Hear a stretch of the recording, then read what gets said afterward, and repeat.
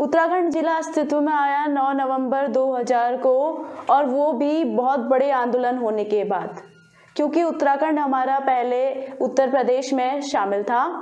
उत्तर प्रदेश से उसको अलग करने के लिए बहुत लंबा आंदोलन चला, और उस आंदोलन के तहत हमारा उत्तराखंड राज्य, अलग राज्य या पृथक राज्य अस्तित्व में आया।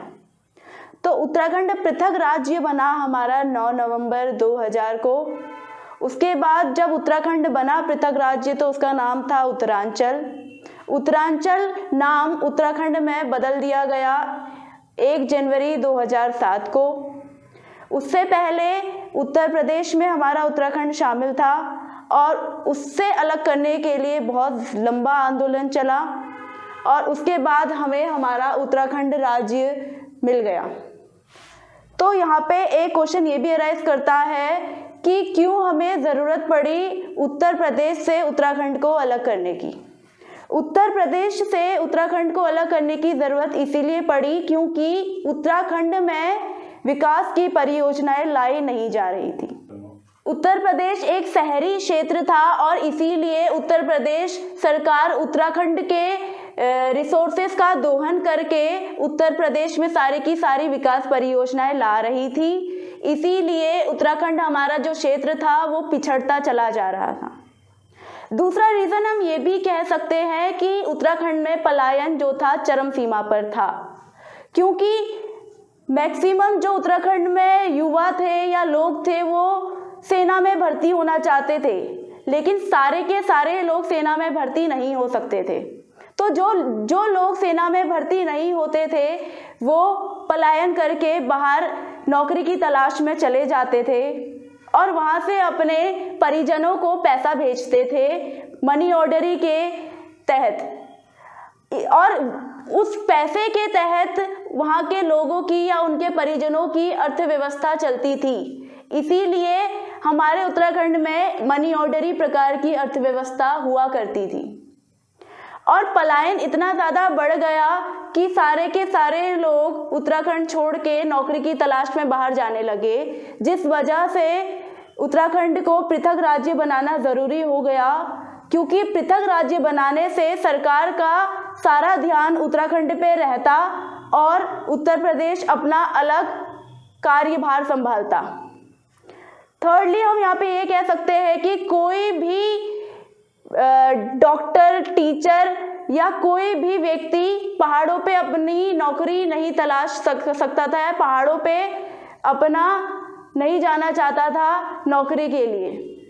भ्रष्टाचार इतना बढ़ गया था कि पहाड़ों से पेड़, पहाड़ों का जो भी हमारा रिसोर्सेस होती थी, वो सबकी सब यूज़ करके सरकार ले जाती थी और एक तरह से पहाड़ों में या पर्वतीय क्षेत्रों में बहुत ज़्यादा दोहन हो चुका था।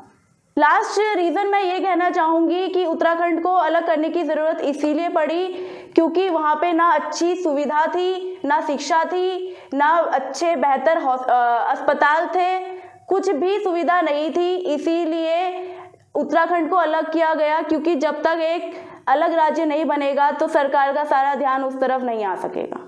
तो यही रीज़न था कि उत्तराखंड को उत्तर प्रदेश से अलग किया गया और उत्तराखंड को एक पृथक राज्य बनाया गया। उत्तराखंड जब पृथक राज्य बन गया, उसके बाद हमारे उत्तराखंड में कुल तेरह ज़िले थे। और वो तेरह ज़िले कब और कैसे बने, वो हम जानेंगे। तो उत्तराखंड में कुल ज़िले हैं हमारे तेरह। कुल ज़िले तेरह। और ये कब और कैसा कैसे बने, इसके बारे में हम विस्तार से पढ़ेंगे। सबसे पहले 1815 की बात आती है। 1815 में अंग्रेज़ों ने जो हमारा पूरा उत्तराखंड क्षेत्र था, उस पर कब्जा कर लिया। 1815 में जब अंग्रेज़ों ने कब्जा किया तो केवल एक टिहरी रियासत जो थी, वहाँ पे अंग्रेज़ों ने कब्जा नहीं किया। टिहरी रियासत को छोड़कर अंग्रेज़ों ने पूरे उत्तराखंड क्षेत्र पर अपना कब्जा कर लिया। उसके बाद 1840 की बात आती है। 1840 में हमारा पौड़ी गढ़वाल जिला बना।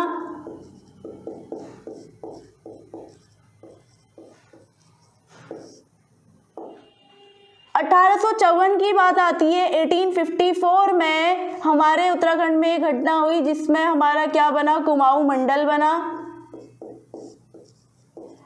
और इस कुमाऊं मंडल का मुख्यालय नैनीताल बनाया गया। इस कुमाऊं मंडल का मुख्यालय नैनीताल बनाया गया। उसके बाद 1891 की घटना आती है 1891 में हमारे दो ज़िले बने, अल्मोड़ा और नैनीताल।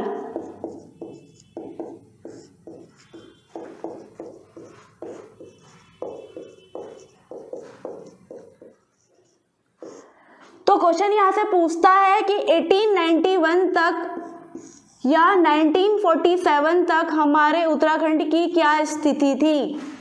या हमारे उत्तराखंड में 1947 या आज़ादी तक कुल कितने ज़िले थे? तो यहाँ पे आंसर होगा तीन ज़िले। पहला है पौड़ी, दूसरा है अल्मोड़ा और तीसरा है नैनीताल। इसको हम पेन से याद रख सकते हैं। तो 1947 तक उत्तराखंड में तीन ज़िले थे, पैन, पौड़ी, अल्मोड़ा और नैनीताल। उसके बाद हम देखेंगे 1960 1960 1960 में हमारे उत्तराखंड में तीन ज़िले बने जिन्हें हम कब से याद कर सकते हैं? कब? चमोली, उत्तरकाशी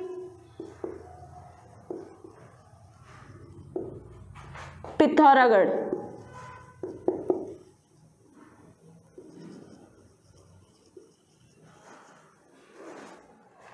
उन्नीस में हमारे उत्तराखंड में तीन ज़िले बन गए। उसके बाद 1988 की बात आती है। 1988 में हमारा हरिद्वार बना। हरिद्वार बना।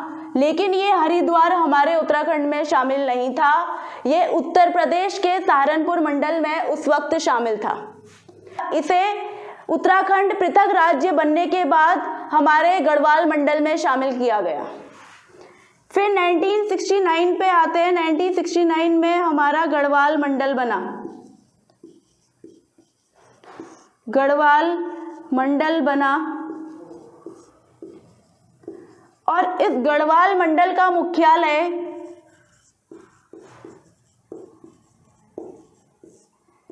पौड़ी बनाया गया।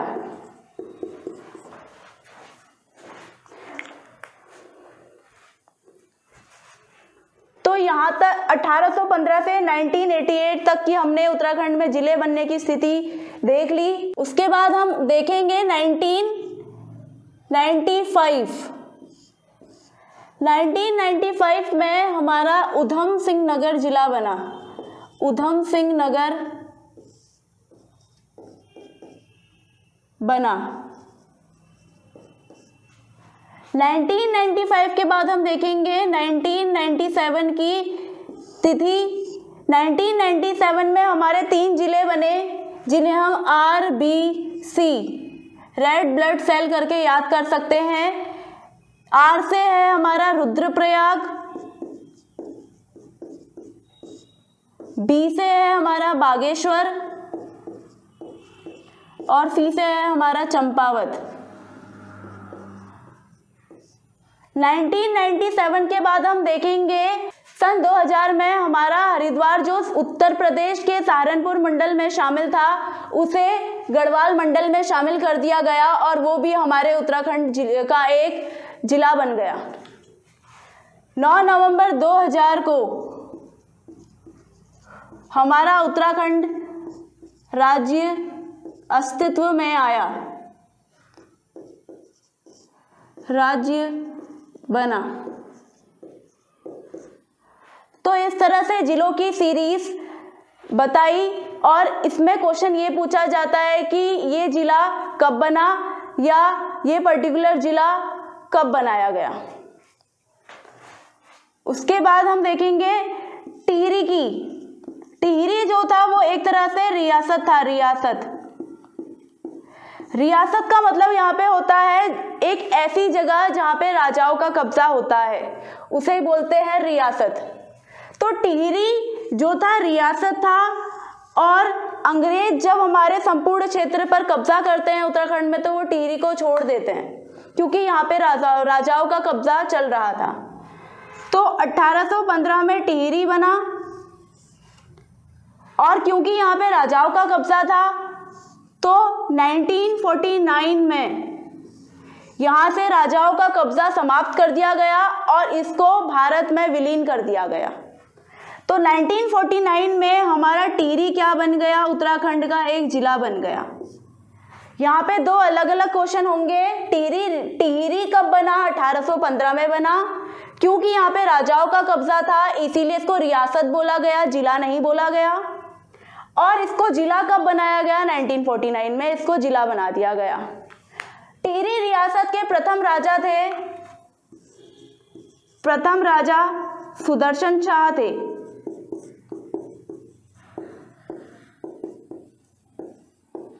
और अंतिम राजा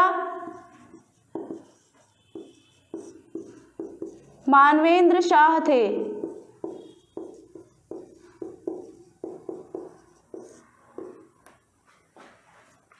इस तरह से हमारे उत्तराखंड में तेरह ज़िले बने और हमारा उत्तराखंड एक पृथक राज्य बन गया और 2007 को हमारा उत्तरांचल से नाम उत्तराखंड पड़ गया।